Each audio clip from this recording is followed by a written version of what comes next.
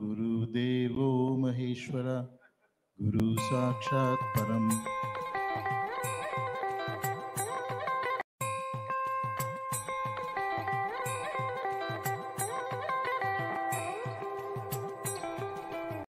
सोच रहा हूँ बदला ना निकाला जाए इस टाइम और एक घंटे में ही अगर समापन हो तो अच्छा रहेगा तो इसलिए मैं ज़्यादा औपचारिकता नहीं करूँगा, सीधा विषय पे आ जाऊँगा।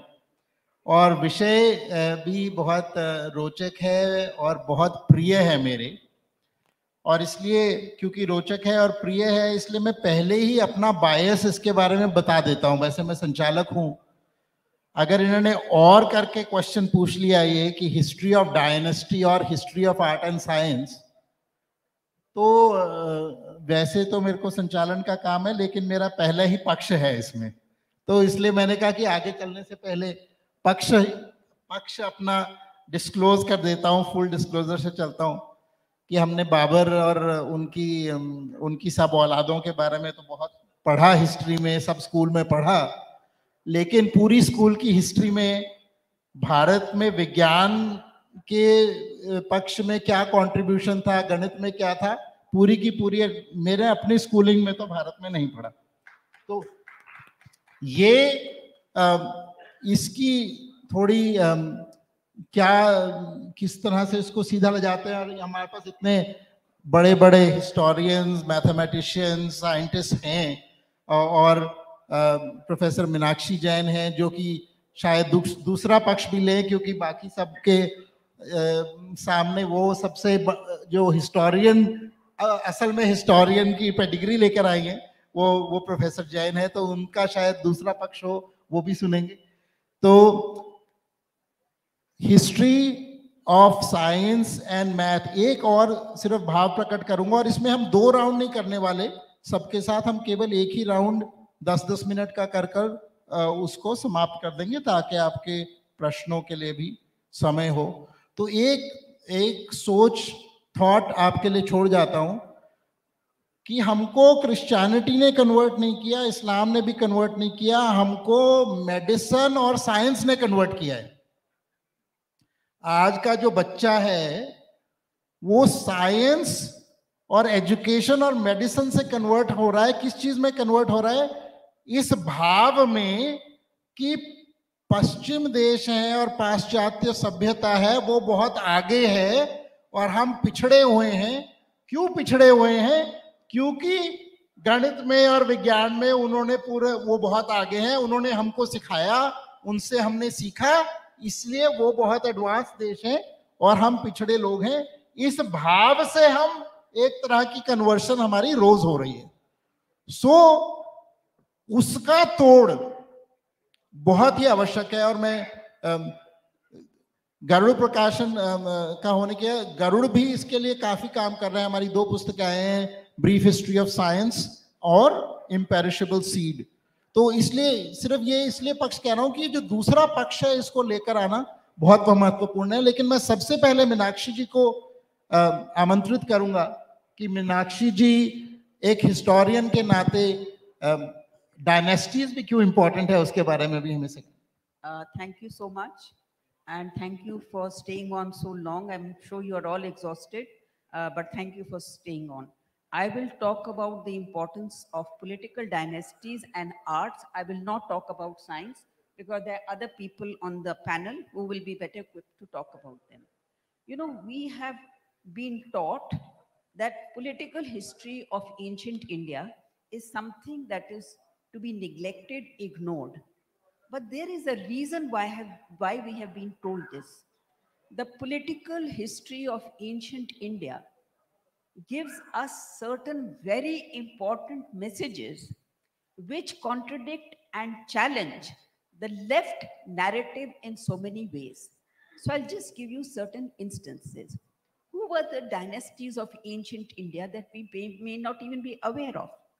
There is in Orissa, a king Kharvela. He was a Jain. In Magad, we had the Nandas, who were people of low caste origin. The Mauryas were people who bred peacocks. In the south, we had the Sahatvanas, who were Brahmins who married into Naga and Shaka families. We had the Guptas who were merchant class. So what picture that we get of these early dynasties is a country which is an open society and where anyone with any merit can rise to the highest political office. This is a message that goes against the view of ancient India that has been propagated by left historians. So the view of ancient India, ancient dynasties, it is important for us to know that so that we know what an open society it was. But apart from these dynasties, in the northwest of India, we had a number of dynasties of foreign origin. In northwestern India, I can just name in quick succession the Bactrian Greeks, the Shakas, the Kushans, and the Huns.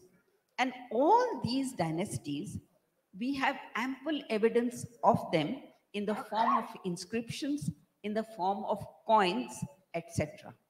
And what we learn is that all these dynasties immersed themselves in the civilizational ethos of this land. None of them tried to impose their own belief system, if they had any, on the inhabitants of this land. So the view that we have of rulers of foreign origin in the ancient period, it is very, very different from our experience of foreign origin dynasties in the medieval period. This is what left historians don't want you to know and don't want you to be in a position to contrast. Now, among these dynasties which were of foreign origin, uh, the Bactrian Greeks, the Bactrian Greek ruler Demetrius, on his coins, he depicted the Dharma Chakra and he said that he was a protector of Dharma. King Menander, he is immortalized in the Pali play Questions of King Milinda. He went and discussed and debated with 500 religious leaders. And finally, he met Nagsen. He debated with him and he was convinced of the relevance, importance, and superiority of the Indic thought process and he embraced. We all know about the Shakas. The Shakas came from uh, west, uh, west, northwestern India. They became very important promoters of Buddhism. And the Shaka branch that ruled in Western Deccan, the first inscription in Sanskrit is attributed to this dynasty of foreign rulers, the Shakas. Kushans, we know King Kanishka is important and revered as promoting Buddhism. But the last important dynasty that I want to discuss is the Huns.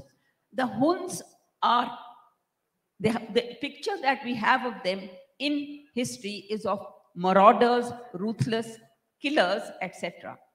That may or may not be true, but Alexander Cunningham, who was the first uh, uh, Director General of the Archaeological Survey of India, he found in Gwalior an inscription which said that Mihirkul, the Hun, Hun Mirukul, bowed before the superiority and wisdom of Lord Shiva.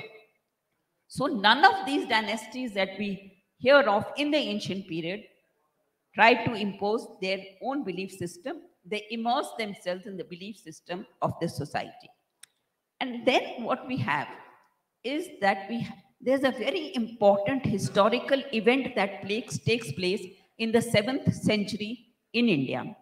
The evidence of that is lost, but that event survives in the form of a myth.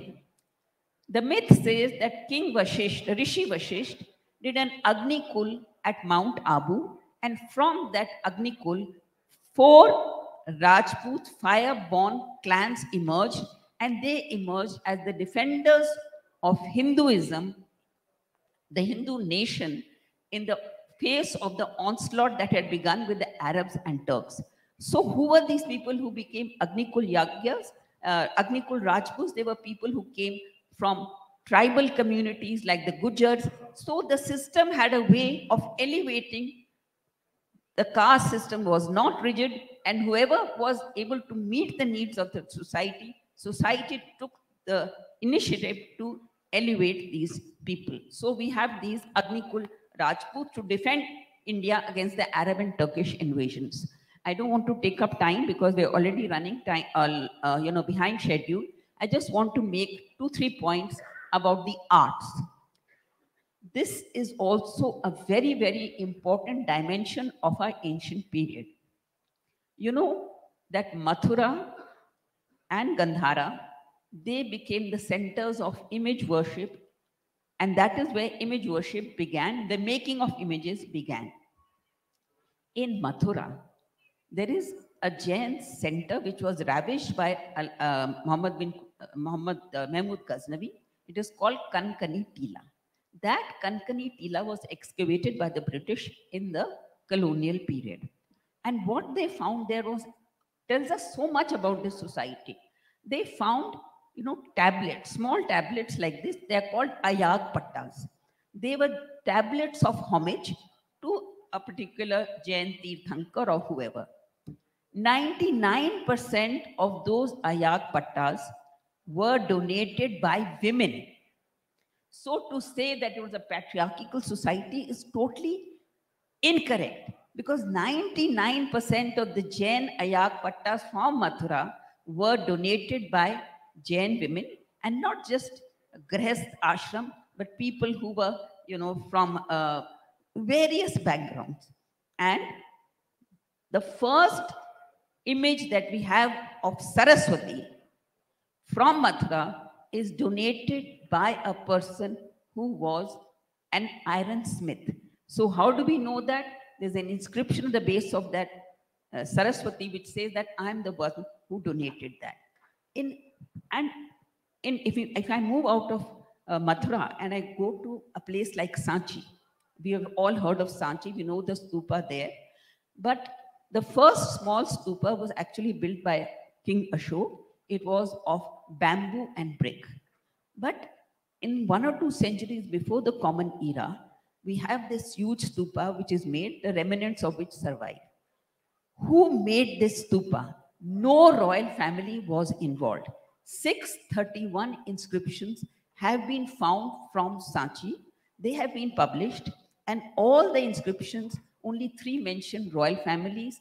The rest are by ordinary people, uh, jewelers, carpenters, musicians, nuns, gardeners, all kinds of people are donating. And you know, there is a, a inscription over at Sanchi.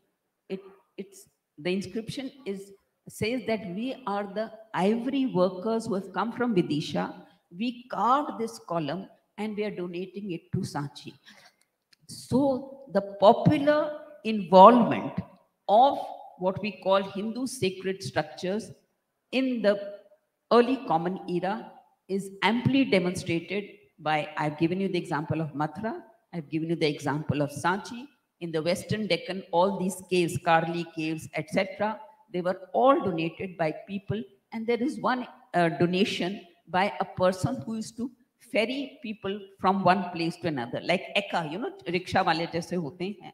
So this perception that we have of ancient India is something that is not taught to us. What is taught to us is that it was uh, a caste-ridden society and it was a patriarchal society. Women were not given their due, but the actual evidence on the ground is what we should emphasize. And it shows that political power was open to anyone who had the capacity to capture it.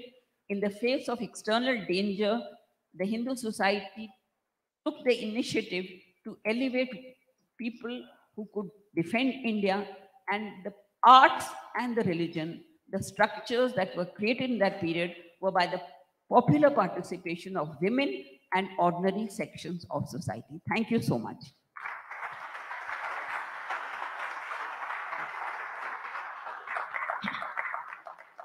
Thank you so much, uh, Minakshi ji, and thank you for both sharing your wisdom and sharing your wisdom in a timely manner.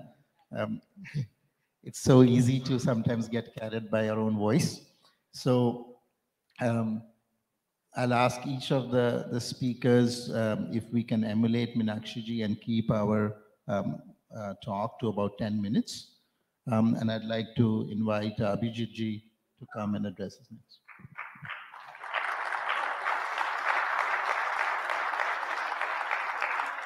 नमस्कार everybody मैं सबसे क्षमा चाहता हूँ मैं English में बोलने वाला हूँ uh, मेरी वैसे हिंदी अच्छी है लेकिन टेक्निकल टॉपिक्स में I prefer English so so we are discussing dynasties we're discussing arts and we're discussing the science uh, sciences. So the first question that arises is how old is india? And some people will say it's 5000 years old. Some people will say it's born in 1947 some people will say it's 1 crore years old whatever. So we have to go by evidence. Now, the thing is that 1,000 years ago, our great universities were all destroyed by the Turkic occupiers of India. And with these universities, all the great libraries were burned down. With the burning of the libraries, we lost all our knowledge, all our written records of our knowledge. They accuse us, Indians, of being an ahistorical people. You transmit knowledge orally your historical records are all, all oral records. Well, the library at Nalanda burned for several months. That was not oral records. Those were written records of history and of science and all that. So because we have lost the written records of our history to a large extent, we have to rely on other evidence to, to find out how old our civilization is. So one of the oldest material evidences or archaeological evidences of Indian civilization lies under the ocean the Gulf of Khambat region, which is of the western coast of India near Gujarat. Uh, off the Gulf of Khambat, at a depth of about 30 to 40 meters below the ocean surface, there is an archaeological site. It's not one archaeological site, it's a, it's a complex of archaeological sites, a complex of multiple cities that lie submerged under the ocean. And these were discovered about 30 or so years ago. And uh, for some reason, uh, after the initial discovery, not much work has been done. What we know is that these cities are laid out in a grid structure, very much like the great cities in the uh, mature phase of the Saraswati Sindhu phase of Indian history. Harappa, Mohenjo-daro, Rakhigarhi, all that. So the last time this part of the country was above the water was about 9,000 years ago because of the ice ages waning. So these great cities would have taken time to build. So they are at least 10,000 years old. And when you build a, a, city properly according to a grid system, it means you have some understanding of architecture, of town planning, which involves some science. So that tells you that our science is ex extremely old. And the cities we were building 10,000 years ago were very much similar to the great cities of these later Saraswati Sindhu era of our history. So that tells us how old Indian history is from this uh, piece of evidence, at least 10,000 years old. That's, the, that's what the archaeological evidence tells us, right? And uh, they have done carbon dating of some pieces of wood and all that. That also goes back at least 8,000 years. So that is the first piece of evidence I can offer you of how old India is. And obviously there was some understanding of science at, at that time. Now, if we go a few millennia forward, we come to the great uh, Saraswati Sindhu cities and if you look at the Saraswati Sindhu era cities, which is uh, Rakhigarhi, Mohenjo-daro, Harappa, Kalibanga, Lothal, uh, and, and, various harbors and all that, you see evidence of the most sophisticated technology of its time. Technology, technology is a symptom of scientific advancement. You can't have high technology without understanding science to a very good extent. So what we see is that there is standardization of weights and measures, very precise standardization of weights and measures all across the geography of the Saraswati Sindhu region, which is a geography that is larger in size than Egypt and Mesopotamia put together. Right? It, it, it stretches from northern Afghanistan to all the way to, to northern Maharashtra, from Balochistan and Oman up to uh, Madhya Pradesh. It's enormous. And everywhere you find weights and measures, it's the same standards. So there was proper standardization of weights and measures. The grid system, I mean, the, all the cities, even the small towns and villages were laid out scientifically according to a grid system. The hydro engineering was the best of its, of its time. We had evidence of dentistry. We had evidence of uh, very ex ex ex extremely good uh, hydro engineering. Uh, the port at Lothal or uh, yeah, I think it's the port at Lothal. So the archaeologist S.R. Rao did a comparative study of the port at Lothal oh, and the and the modern day port, the harbor at Vishakhapatnam, where you have aircraft carriers which are docking today. And he discovered that the port at Lothal compares favorably, in, in quality and size to the modern day port of Vishakhapatnam. So that's what we had 5,000 years ago, right? That is the kind of engineering we had, and that's the kind of science and technology we had. And of course, when we talk about arts, we find all kinds of artistic uh, figures in the Saraswati Sindhu uh, era of Indian history. We find various yogic postures. We find uh, all kinds of uh, evidence of, uh, of, of, of the arts, right? So that is another evidence of uh, of the science and the arts that we had. Now, if you want to look at, uh, if you want to talk about Indian astronomy, well, there's something called a supernova explosion, which is the explosion, that is the death of a large star, which essentially explodes. That's the end phase of a star's life. It's explosion. That's called a supernova. So in Kashmir, in the Kashmir uh, Valley region, I forget the name of the place, but archaeologists uh, some time ago, a long time ago, discovered a rock with a carving on it in which there is a hunting scene. There's, there are one or two hunters and a couple of animals, and there are two suns in the sky. And what the uh, researchers at the TIFR in Mumbai discovered is that these animals are not animals, it represents constellations. It's most likely Orion, which is the hunter with bow and arrow, and, and whatever else uh, constellations. And those two suns are the sun and a supernova explosion. And when they went back in time and looked up all the data of the supernova explosions that happened in the past, they discovered that this corresponds to the supernova HB9 or HB2. I don't remember the name, but it's a supernova explosion that happened for that happened around 4,200 BC, which is about 6,200 years before today. So six and a half, more than 6,000 years ago, our ancestors were looking at the sky and they were recording astronomical events. And so some of them carved that in the rock, right, in Kashmir.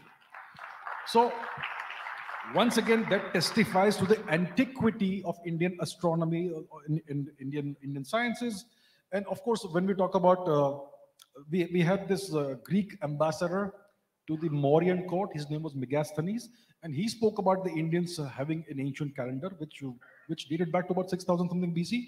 So Indians have been recording time for about 8,000 years, and they had the best calendrical system in the world. Our ancestors, and creating a calendar, uh, you know, creating a calendar is not easy. You have to actually understand the, the motions of the stars, the celestial motions and all that to a very precise uh, uh, degree. So, so, so that you can create a proper calendar of the, uh, of the passage of time. So that's the kind of uh, advancements in science and technology and, and astronomy and all that we had. And that's the kind of history we've had. Now, Meenakshi ji spoke about Kanishka and, and uh, the, the The Greco-Bactrians and, and the uh, Scythians, the, the Shakas, the Kushanas. Well, we are told that the, the Kushanas are, are, are foreign invaders. The Scythians were foreign invaders. Well, the Kushans, the place where they came from, it was called Uttara Kuru. It was north of the Himalayas, the region called Uttara Kuru, which corresponds to present-day Xinjiang, Chinese-occupied Xinjiang, and North Tibet. Well, that was historically of Indian origin. We have we had Indian origin kingdoms that that uh, ruled there for centuries, and they, they considered themselves descendants of Indians, and they, to a large extent, followed Vedic customs, at least for the initial phase. And where the Scythians came from, and where the Scythians later lived for, for the longest time, is a place called Uttara Madra, which is essentially Central Asia. These also were Indian origin kingdoms. So so we, we kind of have this impression, most of us, that the Kushans and the Scythians were of foreign extraction, foreign origin. Well, when the Scythians and the Kushans came into India, they assimilated extremely harmoniously with the people of India. There was no conflict, no friction, nothing. It was the same culture, the same, the, the same uh, polytheistic pantheon. The languages were similar.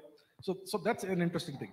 They, they call Kanishka a, a, a Buddhist emperor well, if you look at the coinage of Kanishka, we're talking about arts here. If you look at the coinage, he had extensive coinage. Lots and lots of coins of Kanishka are, are in evidence.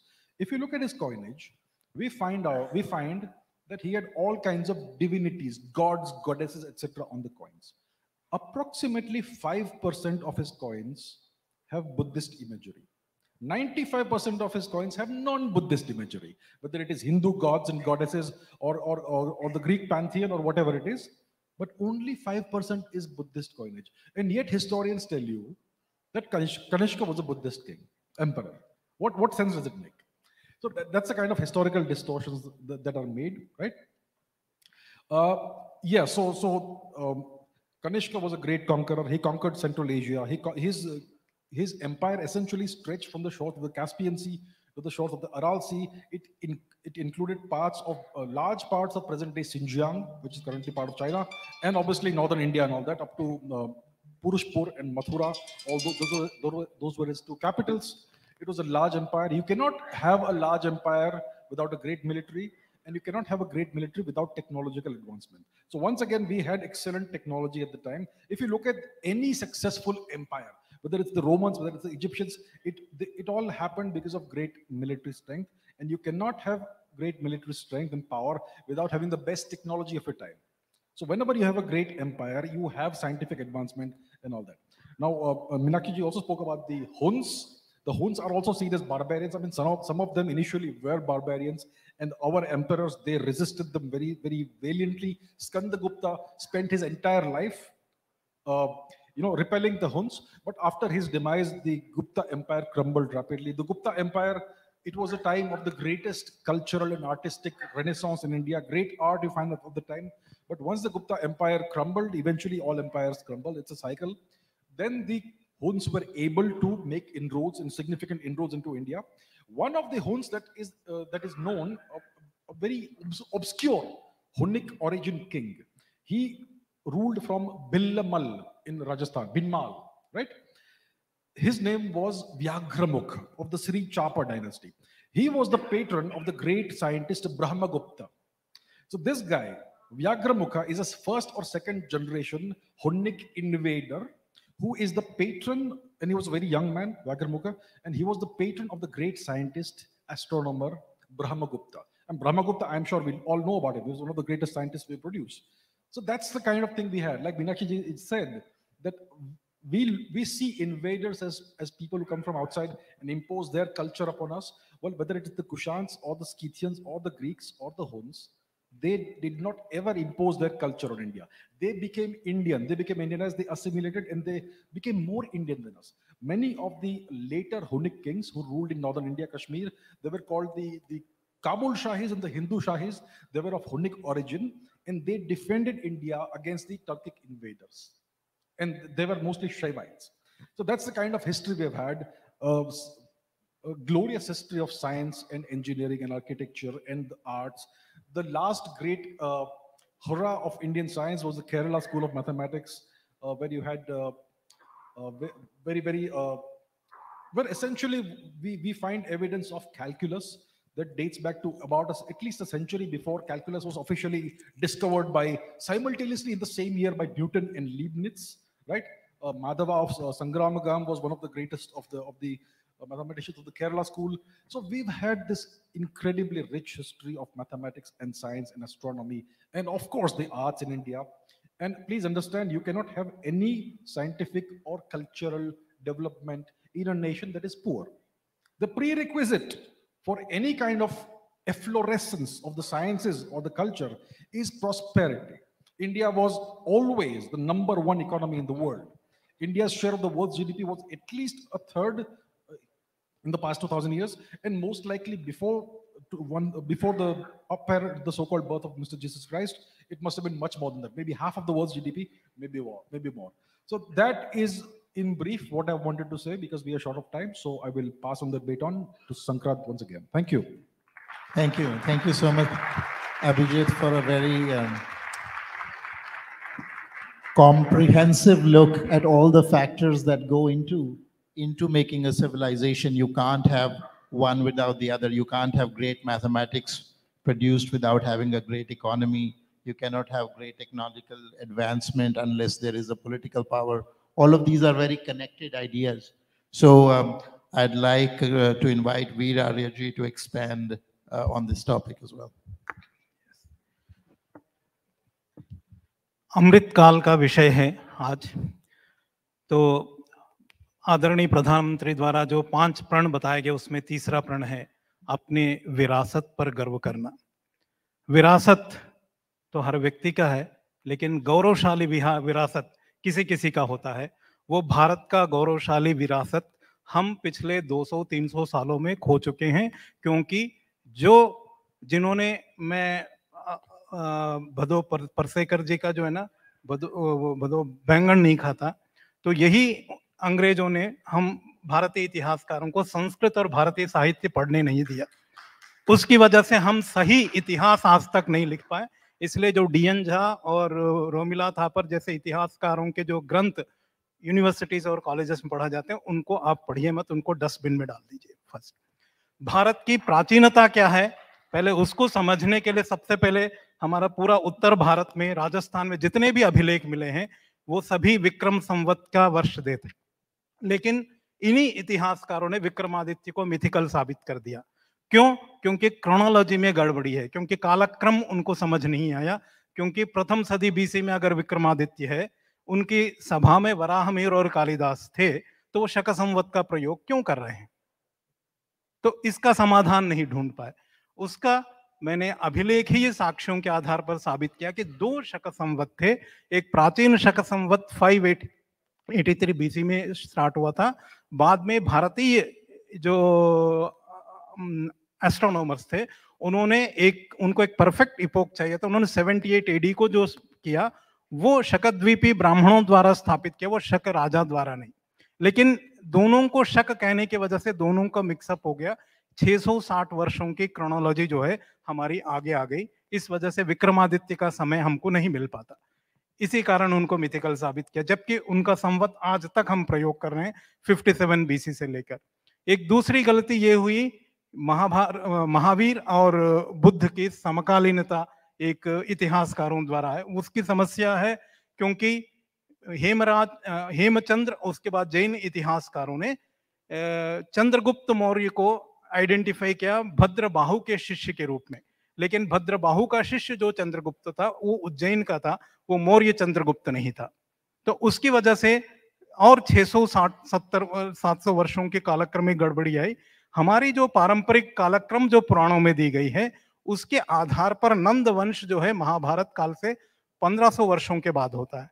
तो बुद्ध का समय में जो है ना 1380 वर्षों की एक गंभीर गलती हो गई है। इस कालक्रम की गलती को हम अगर सुधार करते हैं तो हमारी जो पुराणों में जो पारंपरिक क्रोनोलॉजी दी गई है, वो अक्षरशः सत्य है। तो हमें पहले ये क्रोनोलॉजिकल गलतियों को वैज्ञानिक रूप से स्थापित करेंगे तो हमारी जो पूरे वंशावली जो दी गई है पुराणों में, महाभारत काल से लेकर बृहद्रथ वंश, प्रद्योत वंश, शिशुनाग वंश, उसके बाद मौर्य नंद मौर्य, उसके बाद शुंग वंश इनका, इन, इनकी जो क्रोनोलॉजी है, वो पूर्णतः सत्य है। बुद्ध की समय आजकल आधुनिक इतिहासकारों ने बुद्ध का समय 483 बीसी के आसपास लेते हैं।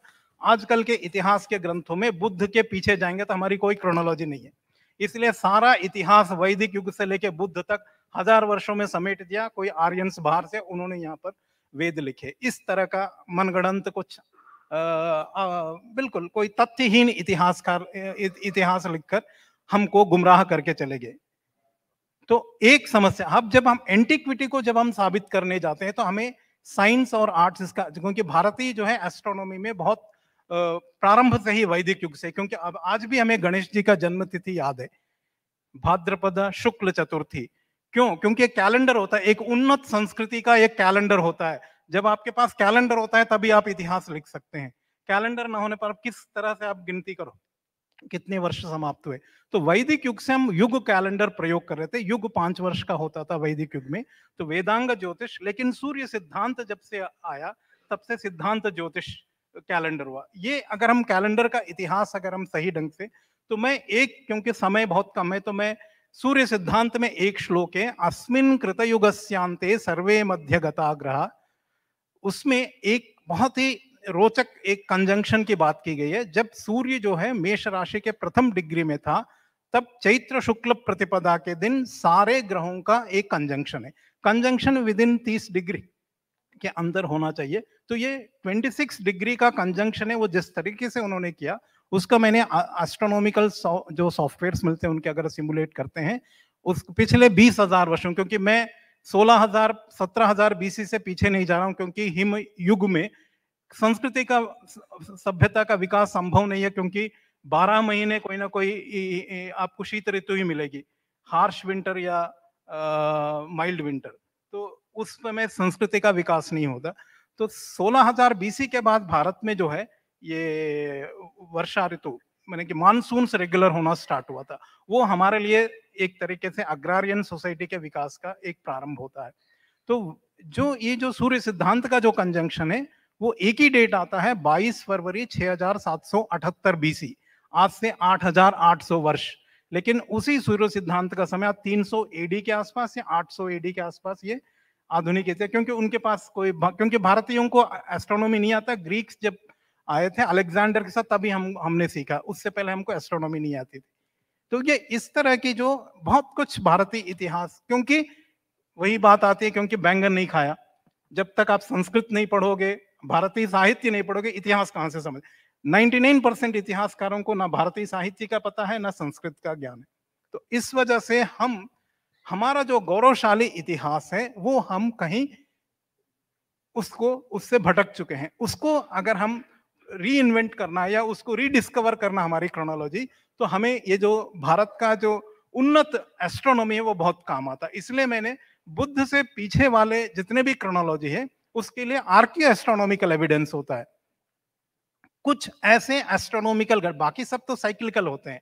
नक्षत्र और महीने वर्ष, हर वर्ष होते रहते हैं, उसकी गणना है लेकिन ये जो कंजंक्शन है एक एक डिग्री, क्योंकि 360 डिग्री है, सूर्य किस कहीं पर भी उस समय होना उसकी प्रोबेबिलिटी बहुत ज़्यादा हो जाती क्योंकि आपको 400-500 वर्षों में एक कंजंक्शन मिलता है, पाँच सौ ग्रहों का, और वो भी चैत्र शुक्ल प्रतिपदा के दिन ही मिले, और मेष राशि के प्रथम डिग्री में सूर्य हो, ऐसे संभावना बहुत कम होते इसलिए मैंने बीस हज़ार वर्षों के जब उसकी गणना की तो केवल 22 फरवरी 6778 बीसी और वहाँ, वहीं से ही जो सूर्य सिद्धांत है उससे हमें 12 वर्षों का जो कुंभ मेला वाला जो चक्र, बृहस्पति चक्र वहाँ से हमने, उससे पहले वैदिक युग में हमने कभी बृहस्पति चक्र का प्रयोग नहीं किया। तो इसको शीट एंकर मानते हुए, अगर हम भारत की क्रोनोलॉजी लेते हैं तो जो अश्विनी सूक्तों का वर्णन है वेदों में, अश्विनी सूक्त, वो एक्चुअली ऑटम क्योंकि भारत, वेदों में आपने पढ़ा होगा, जीवेम शरद शतम, शरद ऋतु को वर्ष के रूप में, एक संवत्सर के रूप में माना गया। क्यों? क्योंकि उस समय शरद ऋतु का कैलेंडर प्रचलित था, शरद ऋतु से शरद ऋतु तक। तो उसका, वो इंगित करता है कि ऑटोमनल इक्विनोक्स अश्विनी नक्षत्र में होता था। तो जब आप वहाँ तक जाएँगे तो तेरह हज़ार पाँच सौ बीसी के आसपास का समय होता है, जब वैदिक युग में एक युग कैलेंडर को प्रारंभ किया गया था पाँच वर्ष। उसके बाद ये माघ शुक्ल आदि कैलेंडर आया। फिर बाद में जब सूर्य सिद्धांत आने के बाद, सूर्य सिद्धांत के आधार पर ब्रह्म सिद्धांत आया, इस तरीके से। तो ये है भारत का जो क्रोनोलॉजी लगभग आज से चौदह हज़ार से लेके सोलह हज़ार वर्षों का भारत का एक इतिहास है, कालक्रमिक इतिहास है। और वैदिक युग से ही हमारे सारे वंशों का अगर आप देखेंगे वेस्टर्न इंडिया में जैसे पाकिस्तान में सौवीर, मद्र और केकई, ये तीन कौन थे? ये शिबी राजा के पुत्र थे। और वैदिक युग में मनुवंश था और उसके बाद सोमवंश था। मनुवंश ही बाद में सूर्य वंश हुआ। और सोमवंश ही चंद्रवंश हुआ। सारे भारतीय जितने भी राजवंश है, वो सूर्यवंशी है या चंद्रवंशी है। तो ये वैदिक युग से आता है और ये हमारे पूर्व में जाएँगे, अंग, वंग, कलिंग सुहम पुंड्र ये सभी राजा बलि, ये बलिया जो डिस्ट्रिक्ट है यूपी में, उनके उनके पुत्र थे। उनको जब पूरा राज्य उनके बीच में जब बांटा गया तो ये सारे जनपद वहाँ है। अगर आप दक्षिण में जाएँगे तो ये पुरुवंश के पुत्र से चेर चोल पांड्य जो तमिलनाडु के जो है, ये भी चंद्रवंशी के पुत्र थे। और अश्मक जो महाराष्ट्र और आंध्र का जो अश्मक जनपद है, ये अश्मक इक्ष्वाकु के पुत्र हैं। तो इस, और, जो एक सुशील जी बैठे हैं, जो कश्मीर के बारे में नीलमत पुराण में जो सतीसर जिसे कहा गया, कश्मीर वैली था एक एक बहुत बड़ा लेक था, क्योंकि जब हिमयुग के बाद जब ग्लेशियर्स पिघल रहे थे तो सारा पानी कश्मीर के वो एक बॉल की तरह तो सारा पानी उसके अंदर भरा हुआ था। तो वो एक तरह का सतीसर था। तो उस समय एक एस्ट्रोनॉमिक एक उल्का पिंड या किसी पुच्छल तारे का कोई गिरा था, उसकी वजह से जो बारामुल्ला जो पास है, वो ओपन अप हुआ। तब सारा पानी जो कश्मीर वैली में था वो बाहर आया, वही था जो मनु के समय में जो फ्लड आया है। तो उस समय मनु को बचाने वाले कौन थे? मत्स्य जनपद, जो कि राजस्थान के जो मत्स्य जनपद के राजा, मत्स्य ने, वो कोई यही है। इतिहास और मैथोलॉजी में हमें निरक्षीर विवेक करना है। मत्स्य कोई वो मछली नहीं था, वो एक राजा का नाम था। इसलिए मत्स्य के वेद मंत्रों, वेद मंत्र का एक ऋषि भी मत्स्य है। और जो कछुआहा है, वो कच्छप है, जो कूर्म अवतार है। कूर्म और कच्छप कछुआहा राजपूत है, वो उनके वंशज है। तो ये जो वराह है, वराह भी जो हिरण्याक्ष को मानने के बाद जो भूदेवी से उनके साथ जो विवाह होता है, उसके बाद नरक और मंगल उनका जन्म होता है तो वो भी तो जो अवतार है वो वो थे जिन्होंने देवासुर संग्राम में जो देवताओं के लिए असुरों के खिलाफ उन्होंने जो नेतृत्व दिया, उसकी वजह से वो हमारे लिए पूज्य हुए। हमारे सारे आराध्य हमारे एक समय में हमारे इतिहास पुरुष थे। एक अंतिम बात और मैं कहना चाहूँगा कि जो वैदिक युग में असुरों का असुर वेद अगर गोपथ ब्राह्मण में पढ़ेंगे तो वहाँ पर असुर वेद की उसका उल्लेख आता है। तो क्यों मधुकैटप चारों वेदों को चुराने की कोशिश क्यों कर रहे थे? क्योंकि एक तरह का ज्ञान को लेकर के एक राइवलरी थी दोनों में। तो जो, जब असुर हार गए तो वो अपने असुर वेद के साथ पर्शिया माइग्रेट हो गए। तो पर्शिया में जो असुर वेद है, उसी को जोरास्टर ने उसको दोबारा उसको रिकम्पाइल किया, जैसे अवेस्ता के रूप में उसको रिकम्पाइल किया, उसका समय ग्रीक सिविल ग्रीक लिटरेचर में दिया लगभग 7000 बीसी के आसपास। तो ये आउट ऑफ़ इंडिया माइग्रेशंस की वजह से ही जो वेस्ट के कुछ सिविलाइजेशन से उनका विकास हुआ इजिप्ट सिविलाइजेशन वो पर्शिया से रीमाइग्रेशन हुआ है उनका। और एक, इंद्र और वृत्रासुर के समय जो दानवों का माइग्रेशन है, वो डेनान से उन्हीं की वजह से ग्रीक सिविलाइजेशन इसीलिए जो है उनके जो प्राचीन उनका जो एस्ट्रोनॉमी वो पूरी तरह मुझे लगता है जो सूर्य सिद्धांत है, ये जो एस्ट्रोनॉमिकल डेटिंग करते हैं तो लगभग 6778 यही सूर्य सिद्धांत पर्शिया में जाने के बाद वो एक प्रकार से सूर्य की पूजा करने लगे। वैसे है तो वो एकेश्वरवादी होके वो जरथुष्ट उनके बाद वो अहुर मजदा का ही, उनकी ही उनकी ही पूजा करते थे तो सूर्योपासना है। यही सूर्योपासना मिथ्राइज्म के रूप में वहाँ पर स्थापित हुआ है वेस्ट में। तो ये है भारत में, भारत हमेशा वैदिक युग से लेकर सत्रहवीं सदी तक भारत को एक नॉलेज लीडरशिप विश्व को प्रदान किया था, इसलिए भारत विश्व गुरु था। पिछले 300 वर्षों कॉलोनियल रूलर्स के टाइम में हम लोग अभी पीछे रह गए। ये भारत का भव्य इतिहास है। उस इतिहास को वैज्ञानिक रूप से विशेष रूप से हमारा जो कालक्रम है उसके जो शीट एंकर्स हैं और जो क्योंकि बुद्ध से पीछे जाते हैं तो हमारे पास ना तो आ, कोई आर्कियोलॉजी के उतना नहीं मिलता लेकिन जो इंडस वैली सिविलाइजेशन जिसे कहा जाता है कि जैसे को कोई एलियन सिविलाइजेशन है भारतीयता से कोई संबंध नहीं है इसका मैं एक कारण ये जो सभ्यता है ये सीथियन सिविलाइजेशन है क्योंकि सीथियंस वो शक है वो कोई शक जो है हमारे अफ़गानिस्तान और ये गांधार और इसी के रहने वाले हैं। वो क्योंकि ऋषि गोत्र के नहीं थे उनको म्लेच्छ कहा गया। तो ये जो है ये एक उनकी भाषा थी वो वो भी एक तरह के प्राकृत भाषा के लेकिन वो जो लिपि थे वो अलग लिपि का प्रयोग करते थे। और ये सीथियंस का एक मैं आपको उल्लेख बताता हूँ क्यों कैसे मैं इसे कह सकता हूँ। क्योंकि हाँ, एक स्कॉट स्कॉटलैंड में आज भी जो है, यूनिकॉर्न उनके लिए जो है, एक नेशनल एनिमल है, वो सिंबल है। क्यों? क्योंकि स्कॉट, स्कॉटिश जो लोग हैं, वो अपना इतिहास क्या करते हैं, उनका जो पूर्वज है, वो सीथियन है, और उनकी उनके सीथी, उनका जो मदर है, वो स्कोटा, इजिप्शियन प्रिंसेस है। तो ये जो सीथियन कनेक्शन है, वो ये जो अश्व है जैसे ये यूनिकॉर्न ग्रीक लिटरेचर में को भारत में मिलता था और ऋग्वेद के अश्व सूक्त में 34 रिब्स के अश्व की बात की गई है और तव श्रृंगाणी शब्द का प्रयोग हुआ, जिसको सायणाचार्य तवकेशानी कह देते हैं, क्योंकि उनको श्रृंग नहीं हो सकते हाथी के। ये अभी रिसर्च का विषय है, क्या यूनिकॉर्न एक वैदिक युग में एक रियल अश्व था? हो सकता है, क्योंकि 34 रिप्स ये शिवालिक हॉर्स जो भारत में पाया जाता था उसके 34 फोर रिप्स से ये आर्कियोलॉजिकली साबित हो चुका है। तो ऋग्वेद में इसका उल्लेख क्यों है? तो आधुनिक जो इतिहास, नहीं नहीं नहीं थर्टी फोर की बात जो कर रहे हैं ना, वो थर्टी फोर गॉड्स की, भारत में तो तैतीस देवता है। ये चौतीसवां देवता कौन पैदा हो गया? क्या जीसस को वहाँ इकट्ठा कर दिया तो ये केवल डिस्टोर्शन करते हैं भारतीय इतिहास को, भारतीय विरासत को नकारने की। हमें स्वयं अपने परिश्रम से, अपने गौरवशाली अतीत को पुनः स्थापित करना है। तभी हम अपने विरासत पर गर्व कर सकेंगे धन्यवाद वीर आर्य जी। बिल्कुल स्पष्ट है आपकी, आपके बोल से कि हमको ये पूरा का पूरा इतिहास की जो का जो काल काल चक्र है, काल और इसका जो कालक्रम है, इसको हमको पुनः देखने की आवश्यकता है।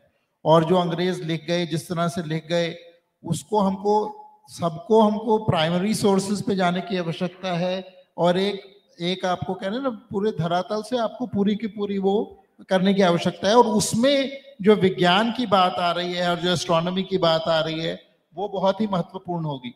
क्योंकि हमारे आम, आ, मैं कहानी सुनाता हूँ जब ये ये युकाटान पेनसुला के अंदर जब इन्होंने सारे कोडिसेस थे मायन सिविलाइजेशन के, वो सब जला दिए, जैसे हमारे भी बहुत जला दिए गए, जो सारी हमारी पांडुलिपियाँ थी। लेकिन हमारी सारी की सारी तारीख एस्ट्रोनॉमिकल बेसिस के ऊपर हमारे ग्रंथों में आज भी पाई जाती है। अब ये ये सूरज और तारों को कैसे जलाएँगे? वो तो वैसे के वैसे ही है ना। तो हमने हमने इस तरह से वो वो तारीख दी है कि आप उसको फिर से ले आ सकते हो और ले जा सकते हो। और इसमें प्रोफेसर राजू का बहुत काम है, समय के ऊपर भी कैलेंडर सिस्टम्स के ऊपर भी, और और गणित पर तो है ही।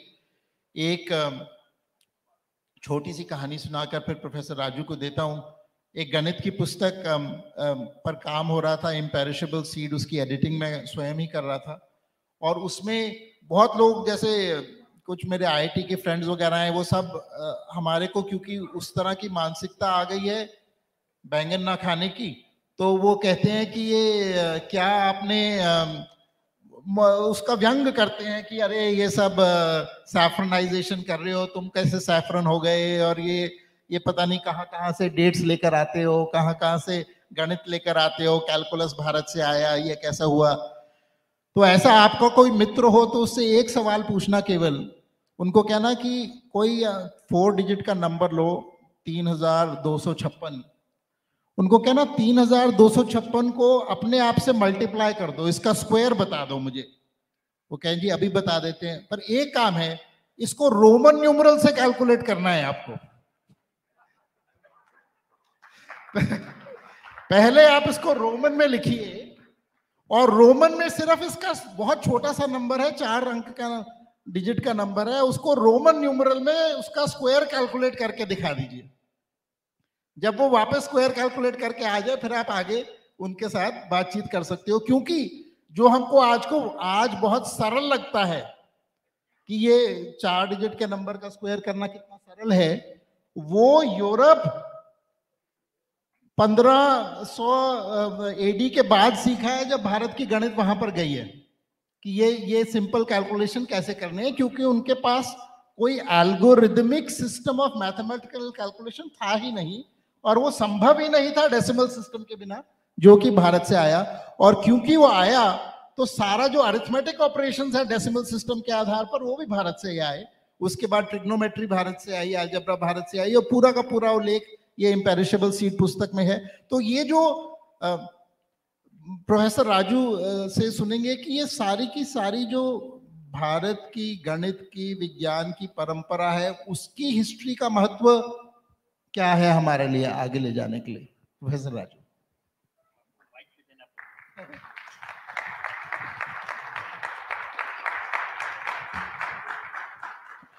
शुक्रिया, और संजय जी का शुक्रिया दूँगा। वो लगता है सो गए हैं कि मुझे आमंत्रित किया फिर से। तो अब पिछले तीन सालों से ये डिमांड रही है कि मैं हिंदी में बोलूँ तो इस बार मैं हिंदी में बोलूँ। कोशिश करूँगा। आज और संक्रांत जी भी बैठे हैं। हमेशा ये हिंदी की बात करते हैं। अब हिंदी मेरी मातृभाषा नहीं है मेरी पितृभाषा भी नहीं है। लेकिन आ, मैं आया हूँ किस लिए कि आप लोगों से बातचीत कर सकूँ। तो बात तो समझना चाहिए आप माने ना माने वो अलग बात है। तो आप जानते हैं कि मैं आ, ये अक्सर मैथमेटिक्स और साइंस के विषय में बात करता हूँ। तो इसमें तकलीफ़ क्या है हिंदी में बोलने की? तकलीफ़ है कि हिंदी में शब्दावली नहीं है। यानी शब्दावली है, सही शब्दावली नहीं, गलत है। खास तौर से आज़ाद आज़ादी के बाद जो हमने बहुत सारे जो अनुवाद किए, वो बिल्कुल गलत है। और ये गलत अनुवाद बहुत प्रचलित है। तो उदाहरण के लिए मैं ले लूँ कि मैथमेटिक्स का क्या अनुवाद करेंगे? सारे एनसीईआरटी के किताबों में होगा गणित। अब मैथमेटिक्स और गणित तो बिल्कुल अलग है तो ये अनुवाद बिल्कुल गलत है। क्या फ़र्क है? मैथमेटिक्स में प्रत्यक्ष प्रमाण वर्जित है और गणित में प्रत्यक्ष प्रमाण मान्य है। अब इस विषय पे मैंने एक लंबा लेख लिखा है। गणित बनाम मैथमेटिक्स और ये वेबसाइट में मिलेगा। ये अपना शिमला इंस्टीट्यूट के जो जर्नल है हिमांजलि उसमें छपा है। तो ये तकलीफ़ ये है हिंदी में बोलने की इसलिए मैं नहीं बोलता हूँ। कि और एक, आपको कई एक उदाहरण दे सकता हूँ कि बोलने में हर एक शब्द के साथ में एक टिप्पणी देनी पड़ती है कि ये शब्द गलत है। ये इसका अनुवाद गलत है। तो अब ये बहुत वक्त निकल जाए अब ये फ़र्क थोड़ा और समझा दूँ। जैसे एक और एक दो होते हैं। अब ये प्रत्यक्ष है कि ये एक बॉटल है, ये एक बॉटल है, दो बॉटल है। ठीक है ना? ये तो प्रत्यक्ष आप दिखा सकते हैं। ये गणित में दिखा सकते हैं। लेकिन मैथमेटिक्स में ये नहीं कह सकते। क्योंकि प्रत्यक्ष वर्जित है। आप दिखाएँगे, इसका कुछ मतलब ही नहीं है। आप दिखाई नहीं सकते। अलाउड नहीं हाँ। माइक या थैंक यू तो हमको शुरुआत प्रत्यक्ष से नहीं करनी है, हमको शुरुआत किसी परिकल्पना से करनी अब ये देखिए, परिकल्पना यानी क्या? एक्सियम एक्सियम को गलत अनुवाद होगा स्वयं सिद्ध बिल्कुल गलत है स्वयं सिद्ध कुछ नहीं है, परिकल्पना है। तो यही जो बात है कि हर एक शब्द के साथ में एक टिप्पणी लगानी पड़ती है कि ये अनुवाद गलत है। तो बोलते बोलते वो हो जाएगा। खैर, ये जो काम है, एक और एक दो एक्सियम से बताने का, परिकल्पना से बताने का, ये काम कोई आसान काम नहीं। बर्ट्रन रसल को ये करने में 378 पेज लग गए अपने प्रिंकिपिया में। लगे वाकई में आप देख लें, तीन सौ अठहत्तर पेज लगे और ऐसा नहीं कि आप उसमें से कुछ आसान, कुछ समझ पाएँगे तीन सौ अठहत्तरवें पेज में। अच्छा दूसरी एक जटिलता है कि हम एक की बात कर रहे हैं, एक और एक एक तो साधारण चीज़ है क्या? बिल्कुल नहीं। आप परिकल्पना से शुरू कर रहे हैं तो नेचुरल नंबर वन जो है और रियल नंबर वन में फ़र्क होता है। नेचुरल नंबर वन के लिए पियानोज एक्सियम्स लगते हैं। जो बटरन रसल ने प्रूव किया कार्डिनल्स के लिए, वो कुछ और चीज़ रियल नंबर्स के लिए जो आप नवी कक्षा में पढ़ते हैं, अगर आपको नहीं मालूम है तो जाके अपनी नवी की पाठ्य पुस्तक खोल के या एनसीईआरटी की ऑनलाइन देख के उसका पहला अध्याय रियल नंबर ठीक है, और जो कैलकुलस में बात करते हैं, उसको बोलते हैं वास्तविक संख्या। बिल्कुल गलत है, पूरी तरह से गैर वास्तविक है है ना? तो अब क्या करेंगे? तो ये मामला थोड़ा पेचीदा है, इसलिए मैंने इस पे जेएनयू में एक चैलेंज दिया कि एक और एक, दो आप साबित कर दो रियल नंबर्स में। तो उसके लिए मैं दस लाख का इनाम देने को तैयार। और ये आप देख सकते हैं खुद जेएनयू के वाइस चांसलर थे, जगदीश कुमार, जो आजकल उसके जीजीसी के चेयरमैन है, उनके सामने हुआ है और इसका वीडियो आपको ऑनलाइन मिल जाएगा। तो बात ऐसी, और उसको मैंने कहा कि भाई आपको एक दिन का टाइम कम लगता है तो आप हफ़्ता ले लो, मैं इनाम कम कर दूँगा, एक लाख दे दूँगा। किसी ने दिया हाँ ये हमारी सबसे बेस्ट यूनिवर्सिटी है, मैं क्या सवाल पूछ? रहा हूँ एक और एक दो। हाँ और आपको लगता है कि जेएनयू में मैथमेटिक्स नहीं आता है, आप दिल्ली यूनिवर्सिटी में जाके पूछ लीजिए। कितने लोगों को आता है? एक और एक दो रियल नंबर्स खैर इन बातों को छोड़ देते हैं। तो आ, मैं आ, ये आपसे पूछ रहा हूँ। साधारण था क्योंकि ये सब बहुत कठिन चीज़ है। एक और एक दो तो मैं उसको उसमें नहीं जाता। आप लोगों ने गिनती तो सीखी होगी सबने मैं सवाल पूछ रहा हूँ सीखी होगी कि नहीं? सबने सीखी है ना? नहीं तो मेरा दिल पुक पुक करता है कहीं आप बोल दें कि नहीं किया तो मैं क्या करूँगा? तो ठीक है। अब मैं क्या है थोड़ा सा विश्वास नहीं करता हूँ। हर एक चीज़ की परीक्षा लेके तभी विश्वास करता हूँ। तो मैं थोड़ी सी आपकी परीक्षा लेना चाहूँगा कि ये सौ करोड़ के बाद की संख्याओं के क्या नाम है, ये आप जरा बता देंगे? और मेरे को संख्याओं के नाम चाहिए, ऐसा नहीं कि आप बोले हज़ार करोड़, लाख करोड़ करोड़ करोड़, ये ये नहीं चाहिए। संख्या के नाम होते हैं हाँ और ये भी नहीं चाहिए कि आप मिलियन ब्रिलियन ट्रिलियन बोले वो भी नहीं चलेगा। हिंदी में बात कर रहे हैं? हिंदी में बात करें जवाब दें। चलिए जी पूछ रहा हूँ आपसे। अरब और फिर? खरब और फिर?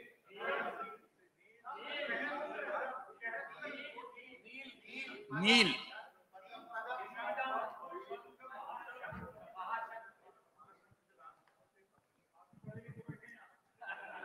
अच्छा मेरे को चाहिए ये जो बोलते हैं टेन पावर फिफ्टी थ्री क्योंकि ये जो सवाल है ये सवाल बाल बुद्ध से किया गया। सिद्धार्थ जब उसकी शादी हो रही थी यशोधरा से। और उस समय तो किसने पूछा नहीं वो तो राजा का बेटा था कितना पैसा है? आजकल तो यही पूछते हैं। तो उस समय कुछ और पूछा कि भाई क्या क्या जानते तो ये सवाल पूछा अर्जुन करके जो एक गणितज्ञ था। अर्जुन धनुर्धर अर्जुन नहीं तो ये अर्जुन गणितज्ञ था, दरबार में उसने पूछा, बालक बता दो। तो बुद्ध ने बता दिए, और मैं बताऊँगा नहीं, उसमें ये किताब में है, पूरा का पूरा ये जो किताब है, इसमें अभी आने वाली है तो आप उसमें देख सकते हैं, ठीक है? तो ये बहुत लंबी गिनती जाती है हाँ? दस घात तिरपन से आगे जाती है, दस घात अस्सी तक जाती है। तो आप देख लें, मैं उसमें नहीं जाऊँगा। लेकिन आज के विषय पे आता हूँ कि आज का विषय है कि हमें इतिहास किसका इतिहास करना चाहिए, वंशवादी इतिहास करना चाहिए या हमें विज्ञान का इतिहास करना चाहिए। हुँ? तो वंशवादी शासक तो आपने बहुत सुने हैं और आपने बहुत लिखा होगा, पढ़ा होगा। हाँ बहुत सारे हमने वंशों के नाम सुन लिए। लेकिन विज्ञान का इतिहास किसी ने नहीं लिखा है? हुँ? तो ये हमें प्रॉब्लम है कि लिखा नहीं है वो एक बात है, लिख सकते नहीं है ये दूसरी बात है। क्योंकि हमने लोग ही नहीं तैयार किए। सारी जगह जो है, ये हिस्टोरियंस ने ले लिए। जो साइंस नहीं जानते, बोलते हम तो हिस्टोरियन है, हमको क्यों आता नहीं चाहिए मैथमेटिक्स हमको क्यों आना चाहिए साइंस तो सारी की सारी जगह जो है हिस्टोरियंस ने घेर लिए और हमने लोग तैयारी नहीं किए हैं और ये सब जो वंशवादी इतिहासकार हों या पॉलिटिकल हिस्ट्री करें या जो कुछ भी करें, अब बाकी जगह जो है वो बकवास करने वाले लोगों ने घेर लिए। नहीं, ये वैदिक गणित की बात करते हैं, हमारे पास विमान था और ये बहुत सारी चीज़ें बोलते हैं, वेद में है गणित, लेकिन सही गणित है, उसकी नहीं बात करते। उसके बारे में मैं बात करूँगा थोड़ी देर बाद। तो यानी ये क्या होता है, इससे कुल कुछ लोगों को जिनको कुछ मालूम नहीं है, उनको गर्व होता है। अच्छी बात है। लेकिन वेद में जो असली गणित है, उसकी बात नहीं करते वेद में गिनती क्या है? सौ करोड़ के बाद नील पदम नहीं है।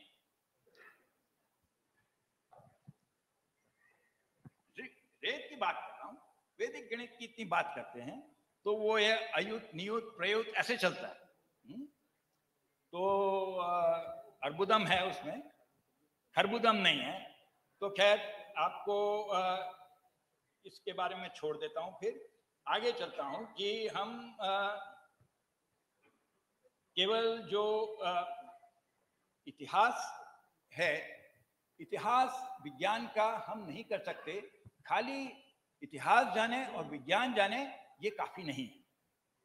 हमको विज्ञान का फलसफा जाना ज़रूरी है। ये जो सवाल मैंने किया कि एक और एक दो आप सिद्ध कर दो, ये मैथमेटिक्स में है। गणित में नहीं है। गणित में बहुत आसान है। तो मैथमेटिक्स में इतनी कठिनाई है। तो इसके लिए ये सवाल किया तो हमको ये फलसफा जाने की, जानने की ज़रूरत है और हमारे हमेशा ये होड़ लगी रहती है। हमने पहले किया।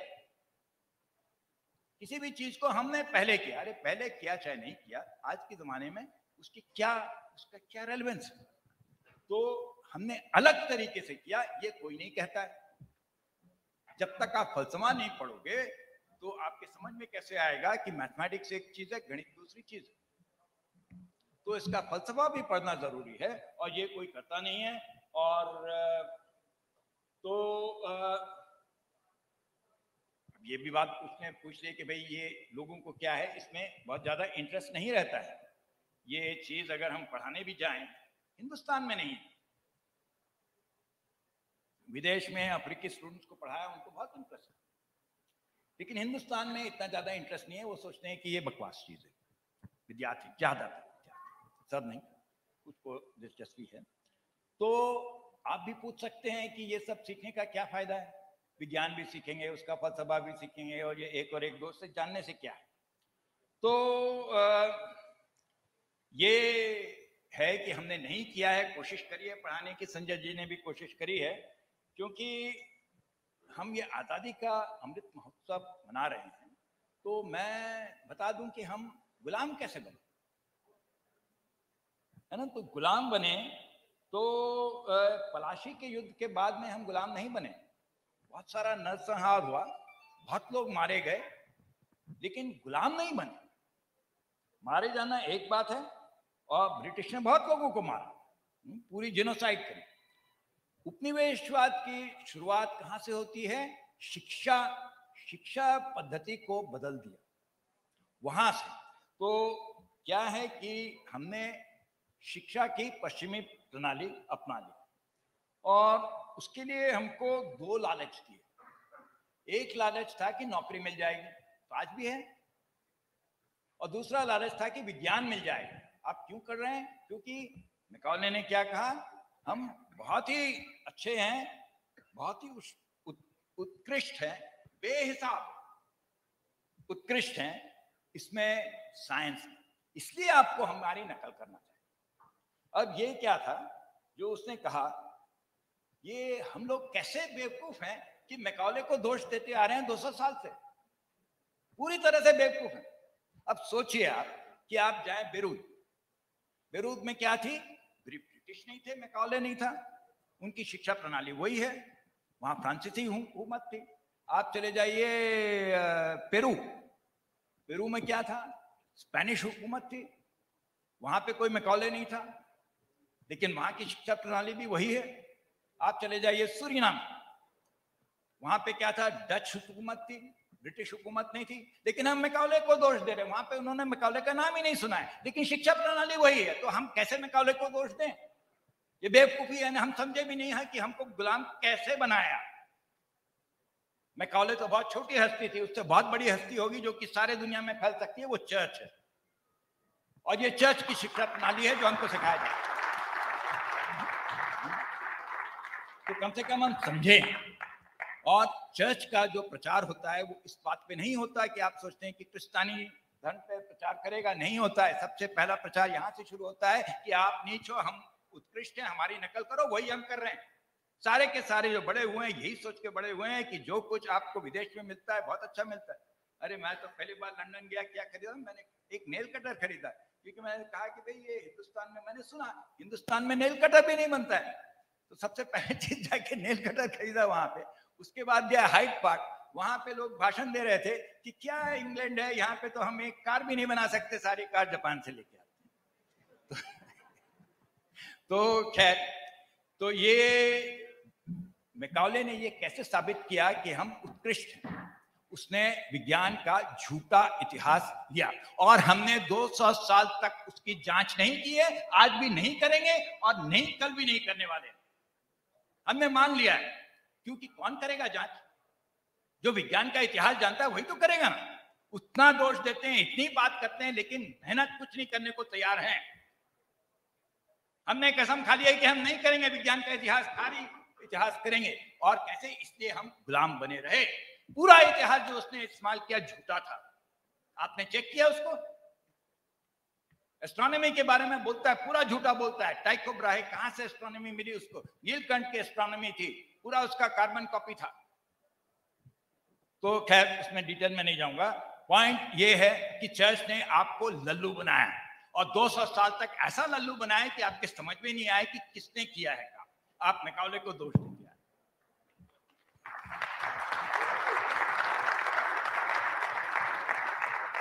और क्या किया कि आपकी शिक्षा प्रणाली बदल के इमारत पे झंडा नहीं गाड़ा, आपके दिमाग में झंडा गाड़ दिया है ना?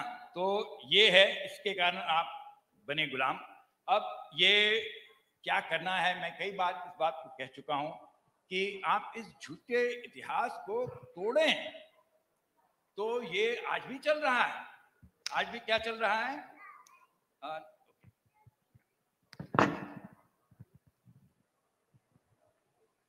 आज भी हमको मैथमेटिक्स सिखाते हैं।